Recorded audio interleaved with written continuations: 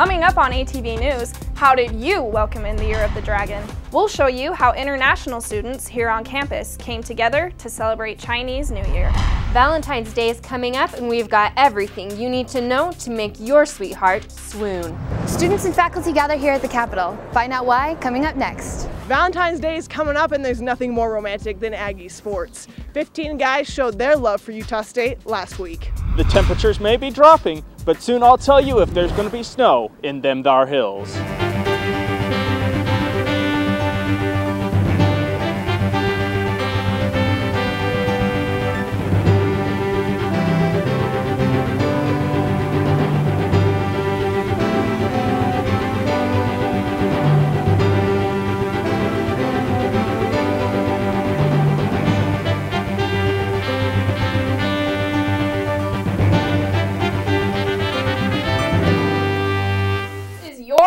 ATV News. I'm Kelsey Keller. And I'm Britta Anderson. Utah legislatures saw your point of view Friday as students all across the state rallied at the Capitol to make higher education a priority. Brianna Bodley takes us there. Students climbed Capitol Hill Friday, ready to do some of their own lobbying. Holding signs proclaiming we are the 66%, they gathered on the steps of the Capitol in a rally for higher education. We're lobbying to put education as the state's first priority. Their platform, We Are the 66%, is an obvious play on the occupation movement, but it means more than that to them. There was a study put out by Georgetown that said 66% of Utahns needed some kind of a post-secondary education in order for our workforce to meet the, the demands that would be placed on it. Now, if you look at the economic activity that's starting to percolate in our state, a lot of business is coming into Utah. And if we don't have a workforce that's ready to meet the demands of those businesses coming in, um, we're going to miss a strong economic opportunity. Mickelson said organizations like Education First Utah and Prosperity 2020 have also realized the importance of higher education. We're supporting the Education First initiative, which started as a petition that went to students throughout the state and garnered over 32,000 signatures. The students also had the opportunity to meet as a committee with House representatives and senators to discuss how legislation can help students trying to make it through college. Between all of the students that are here, we've set up appointments with 53 members of the legislature, which is over half of the members of the legislature. Students are hoping this rally is a step toward opening the doors for higher education in legislation. Jessica Daniels, a participating student, felt the rally was successful. They're for our views and they totally understand where we're coming from and are in agreement. Brianna Bodley, ATV News. Organizers plan to keep students involved in the movement all year. A neighborhood is still in shock after an explosion took the life of a man and his two sons. Josh Powell is believed by authorities to be responsible for the disappearance of his wife, Susan Powell, in 2009. After the court denied him custody of his two sons, authorities believe Powell set in motion a plan to commit a double murder-suicide. When his sons, Charles and Braden, came for a supervised visit Sunday, Powell barred the way of the social worker, locking his children inside. Moments later, the house exploded. Powell had doused the house in gasoline, and autopsies suggest Powell attempted to kill his sons with a hatchet before the explosion. If you're looking for a way to get your taxes done for free, the Volunteer Income Tax Assistance, or VITA program, might have an option for you. VITA also gives you a chance to get more money back on your tax returns. I went to their offices to learn more. VITA is a program that allows low income families to get free help filing their taxes. Whether you do it on paper or fill it out online, Tax forms can be confusing and intimidating, especially for those of us who aren't accountants. But with the VITA program, if you qualify, you can have a professional do all of this for you for free. Last year I filed my own with TurboTax and when I was doing that I was really worried that I was going to be missing a deduction or that I was going to input something wrong and it's just really nice to know that there's somebody here that knows all the ins and outs. Um, our taxes are supposed to be easy right now but it's still nice to just know that everything's being done right. All you do is set an appointment and fill out a couple of forms, and you're in. There's an intake sheet when you come in that you'll just have to fill out. It's just your basic information, your name, address. The volunteers are trained IRS approved accountants who are willing to help you in any way they can. I just got my bachelor's in accounting a year ago last November, and I like to help people especially people that don't, you know, don't understand the tax laws and, because it can be really confusing. A lot of places will advertise that it's for free, but they'll charge you for state and they'll charge you for any additional W-2s, different things like that. We do both state and federal for free. You don't have anything to lose. It's just an hour of your time and then your taxes are done. VITA will be offering this service every Monday through Friday until April 12th. You can schedule an appointment to meet with a volunteer by simply calling 211. When we come back, we'll return to the Capitol and tell you about the latest anti-discrimination bill. And we'll show you how international students celebrated Chinese New Year. How do you define discrimination? Well, last weekend the state of Utah did just that when they took another look at their anti-discrimination bill. I found out more about the bill and saw just how people are feeling about it. Utah's anti-discrimination law prohibits discrimination against race, gender, and religion. But one topic not included is sexual orientation. Last Friday at the Capitol, a bill was presented to add sexual orientation to the list. Citizens had strong opinions both for and against the bill. My oldest child, um, he knows I'm up here today, and he will wonder what happened. And it means a lot to him that things like this get passed because it sends a signal to him that his moms are um, protected.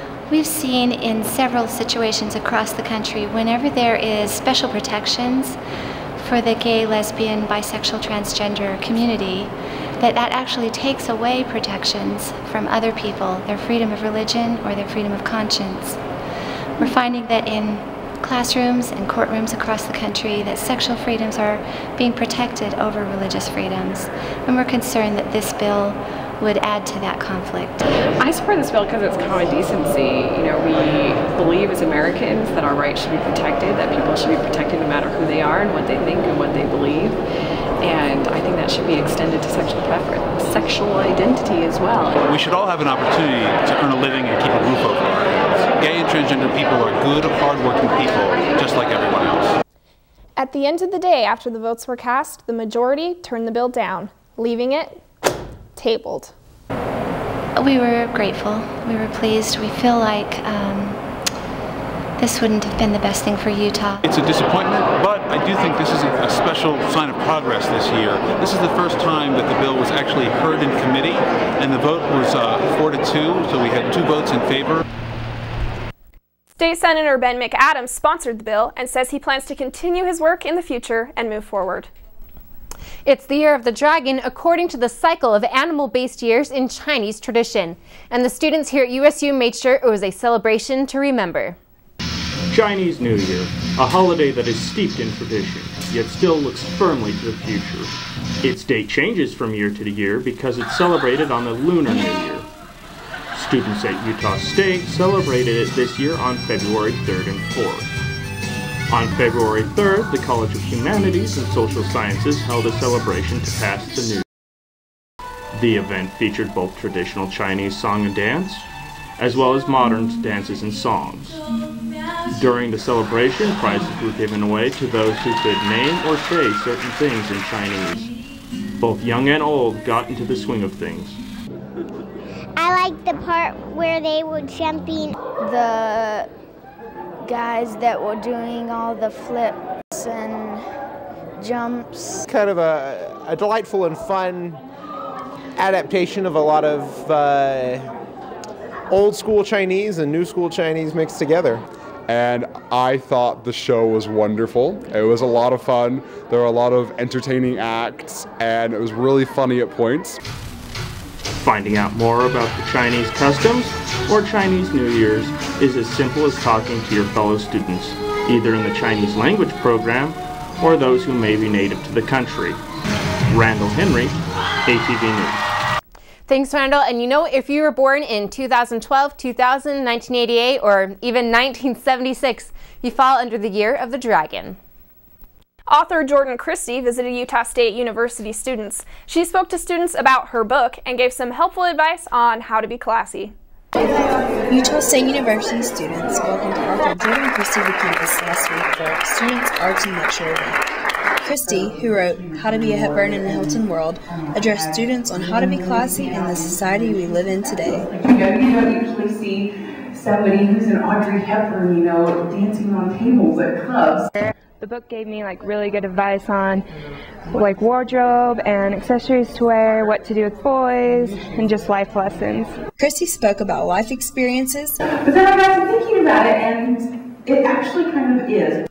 Her inspiration for her book. Um, when I got to college, I really started to realize that there were a lot more girls that thought like myself. And even had time to answer a few questions. Did you ever do like debutante or cotillion or anything? I never did.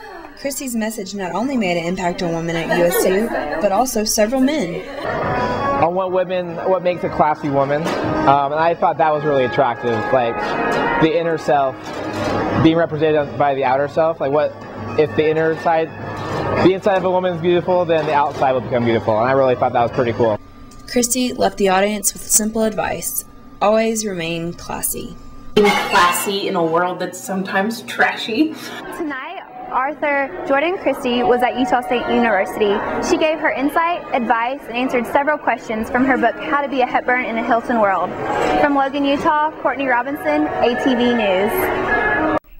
It looks like a lot of people learned some useful information on how to be classy from Jordan Christie. Thanks, Courtney. Well, right now, our very own weatherman, Randall Henry, is chilling outside. Randall, how's it feeling out there? Cold. And let me tell you, that guy over there, he's wearing shorts. I'll let you know if you should be wearing shorts too, right after this. Hey guys, yeah, some technical difficulties. Stupid microphone was fighting with me. And it still is. Darn you. Darn you, microphone. Anyways, this week on ATV News, certainly been an unusual winter, hasn't it? Well, this week, things are going to change a little bit. It's going to start to be a little more um, winter-like. And next, we have our air quality. Our air quality is, right now, it's in the yellows. It's not great-ish definitely, the snow is definitely going to help with that, bring um, the parts per million of the ozone and other particulates in the atmosphere. It's going to help out with things. Our national forecast, you can see that the snow is mostly through Utah. It's in uh, Nevada, Oregon, Washington. Um, next, this week, today, 39 is a high, 23 is a low, and as you can see outside, if you're looking out your window, it's snowing. Tomorrow, our high is going to be 42 and our low is 20, and it's going to be mostly cloudy throughout the day. Friday, it's going to be again a high of 42 with a low of 24, also mostly cloudy throughout the day. On Saturday, we're going to have a high of 44 and a low of 20, and there's a slight chance of snow around 20%. On Sunday, high of 40, low of 26, and we're going to continue to see a slight chance of precipitation. Well, that's it for weather. Stick around for ATV Sports right after the break. Hey Aggies, welcome to ATV Sports. I'm Bailey McMurdie. The football team is already preparing for next season and signed 15 recruits last Wednesday, 11 of those recruits being for the offensive line. Four of those guys are from Utah. This is a definite positive for the Aggies, not to mention that three big guys have returned home from their LDS missions, all with a full four-year eligibility. Coach Gary Anderson was happy about the day overall, even though recruiting is getting harder and harder every year. If we look at ourselves, the people recruited against, uh, other schools, uh, whether it's a BCS school or, or teams within different conferences, uh, the level of competition went up again for us, and it's continuing to do that every single year. I felt like the coaches reacted reasonably well to that. Uh, we can learn from this recruiting process that we just went through without question and, and be better in some certain areas. The first spring game of football this year is on April 28th. Bad news for the Aggie basketball team hit on Sunday night when it was announced that Brady Jardine, who was sitting out on medical red shirt for a foot injury, is now unable to continue on with his career. Jardine sustained an injury in his foot on November 19th at home against Southern Utah University. The injury includes torn ligaments supporting his midfoot and a Lisfranc sprain.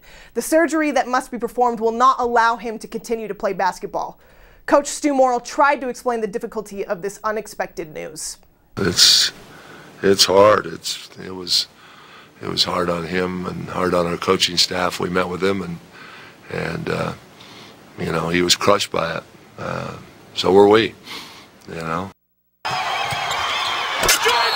it's it's hard. It's it was it was hard on him and hard on our coaching staff. We met with him and and uh, you know he was crushed by it. Uh, so were we. You know, uh, it's uh, it's part of life, I guess. This is an unfortunate loss for the Aggies as Jardine was a definite threat on both offense and defense.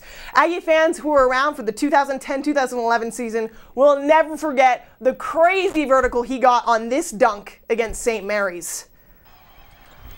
He is unbelievable when it comes to getting his vertical up. He is so full of passion when he plays basketball, and he will definitely be missed because, I mean, heck, we definitely need all the help we can get at this point. His hops will be missed next season, and let's hope the redshirt team, with an average height of 6'9", which is the largest in the country, can pick up the slack for Jardine. Best of luck to him with his future endeavors. Even though Brady Jardine's career halted to a full stop, the rest of the team has five straight home games to worry about in the next three weeks. Last week wasn't the best morale booster for the guys as they go into their home games. They took two tough losses on the road against Fresno State and Nevada. The Nevada loss was especially hard because if the guys would have just made one more shot, they would have ended the Wolfpack's 15 game winning streak. But the victory didn't come. This weekend, the boys take on Louisiana Tech, who is now 11 and 12. Then on Saturday, quite literally our biggest matchup against New Mexico State Aggies, Aggies who have a record of 17 and 7. Coach Morrill wants the boys to come out with their best and encourages the fans to do the same. People have lots of activities, lots of things with their their kids and all of that, which I fully understand. But uh, hopefully, there's enough that can free up time to come to the to come to the game. Usually, uh, usually when there's uh, national television involved, that usually motivates a few. So hopefully that'll hopefully that'll help. Four and five in WAC play and sits at fifth in WAC standings. And the Aggie sports keep coming. Even though the guys are having a hard time, we can't say the same thing for women's basketball team. The ladies have won their past three games, all which took place on the road. The first win was against the Idaho State Vandals, 78 70. The next W came at San Jose against the Spartans, 78 73. And the last away game took place in Hawaii, where you think the women would lose their focus, but nope, they won big, 69 to 55. Players like Ashley Brown are stepping up their game. Brown recorded her sixth double-double of the season and her career high of 30 points against the Spartans. The Lady Ags are back in the spectrum this Thursday, taking on Louisiana Tech, hopefully scoring that coveted first place in WAC standing.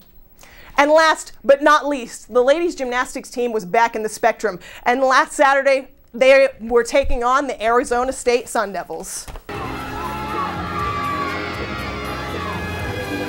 and some bottom outs for the Aggies and just some bad landings. But overall, the Aggies did pretty well. It was Rebecca Holiday that saved the day with her score of 9.775 on beam, 9.8 on floor, and another 9.8 on bars. Holiday was just killing it the whole night because the rest of the Aggies were having a hard time, but she's confident they will get better as the season continues on. I know we can do better. We've seen it this year already, um, but there are those ups and downs every season. So think today was a little bit of a lower point, but we're going to bring it back up next week, and I think we're just going to keep progressing from here this season. After the meet, I told them we're going to have good days, we're going to have bad days, and it's what you do with those bad days. You know, once we get back in the gym, I, you, it's hard to stay consistent that many times in a row. We've got a young team. For them to put it together, you know, 13 weeks in a row is going to be tough. So we just. Uh, we'll, hit it next week and uh, we still stayed in there we had some highlights we still had some personal bests so they're they're doing good and it's great to see this team fight the ladies are back in the spectrum this Friday, meeting up with the San Jose State Spartans. The meet starts at 7 p.m.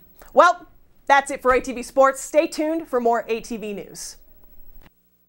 St. Valentine's Day is drawing near, and the date doctor came to Logan to help you draw nearer to your sweetheart. Ryan Humphreys went to find out how it's done.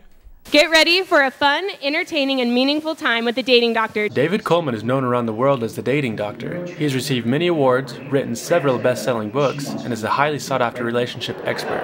He brought his tips to USU last Thursday. Talking about dating relationships, romance, sex, marriage, divorce, healthy relationships, and they turn out 700, 800, 1,000 people every time I come. In Coleman's second trip to USU, the TSC ballroom is full of students. They try to learn from it. They really enjoy themselves while we're here and get the most out of the show but they never try to one up me or steal it. And a lot of students at other campuses try to do that kind of stuff.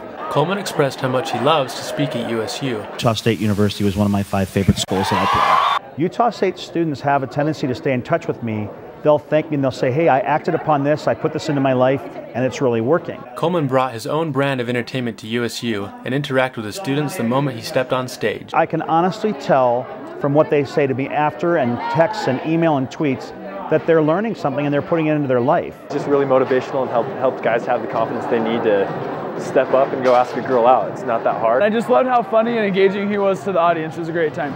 Overall, I just thought it was really, really positive. I really like the speaker. Coleman gave advice on dating with tips such as why nice guys finish last. I loved how he explained why good guys finish last. Um, and how we can overcome that. To know that coming all the way out here and doing a show that they love and they enjoy, but that they learn from and they use, doesn't get better than that. Now, there's no easy way to find that special someone, but hopefully the dating doctor got some people pointed in the right direction. Yeah, you know, I wish it was easier. But if you're still unsure about what to give your sweetheart this Valentine's Day, two Logan residents have a warm solution for you, and they're located right here in town. Meredith Kinney is right outside with the scoop. Um, Meredith, what what are you wearing? Oh, well, Britta, I am actually wearing a fox hat right now, and I'm feeling kind of stupid. Do I look as dumb as I think I do? Mm, I think you're looking foxy. well, um, their hats aren't animal shaped, but they will keep you warm. Um, one Logan couple has taken the winter hats to a whole new level. Tara and Mitch Duffin run the company Beard Beanies out of their home in North Logan. Mitch Duffin said they started with an idea and the company just took off. I just yeah, did you see the guy that kind of had that ski mask on? Said, you know what would look really cool is that if we could take the, if we could make a hat that actually looked like it had a beard on it. The Duffins began selling the beanies on Etsy.com, a website for homemade goods, but the demand quickly grew. Since then, they have hired more help, but Tara continues to sew some hats together on her kitchen table. You take it, it's really easy to put on. You just take the back like that, and then you slide it on. that's it. All the materials are US made, and the beards are hand crocheted to be attached to the hats. It's been really important to us to try and keep the money in our economy as much as we can keep local and as much as we can keep in the US. The handmade hats are sold around the world. Tara says the best part of the experience is receiving feedback from customers. It's fun to, to have get emails from all over the world. The idea of beard hats has been around for a while. We didn't invent the beard hat, and those have been around since 1920. The Duffins were the first to mass market the idea. Nobody had ever made the beard beanie, and so we made the beard beanie and that's what uh, that's what we got today. Well, the hats can be purchased online at beardbeanies.com, and the Duffins said they'll give a discount to Cache Valley residents. At least this hat works in the snow. Back to you guys. Thanks, Meredith. I might have to get one of those hats for my Valentine. And by the way, after you get that special something for that special someone, you may still feel like there is nothing to do in Logan on that special day. But some students on campus have created a website to help you find local activities to do. Romina Nadakovic, surfed the net to find out more. It only takes a few clicks on a keypad to figure out what to do in Logan these days. The Nothing to Do in Logan website has become a popular site for anyone who wants to know what events are going on in Logan. I created a website that has a comprehensive list of all the events going on in town, um, information about eating out, dining, um, recreation, just anything there is to do, we've got it on our website. Um, I see a lot of opportunity in the near future to, to create a a service for people to, to use in Logan and also the surrounding areas. The site provides tabs that help you navigate the site, calendars filled with events for the entire month, Google Maps to help navigate you to the event, and popular websites are posted so you can get more information on your favorite events. The calendar for this week provides some fun events. I'm at the Ellen Eccles Theater here on Main Street where every Monday and Friday they do tours at 10:30 in the morning for anyone who is interested in seeing the beautiful and historic theater. At the Cache Valley Fun Park, they have Cosmic Bowling every Friday from 7 p.m. to close, on Saturdays from 10 a.m. to 3 p.m., and as well 7 p.m. to close. So stop by because it is a lot of fun. The site provides videos if you prefer them, and if you want to post an ad or be a sponsor for the site, you can. Um, we've also got uh, social media aspects, Facebook and Twitter. And so you can go on to nothingtodoinlogan.com and find some ideas for what you can do in Logan up to the minute uh, events. It has already gotten 68,684 views. I mean, as a team, we could be our own bosses. Romina Nadakovic, ATV News.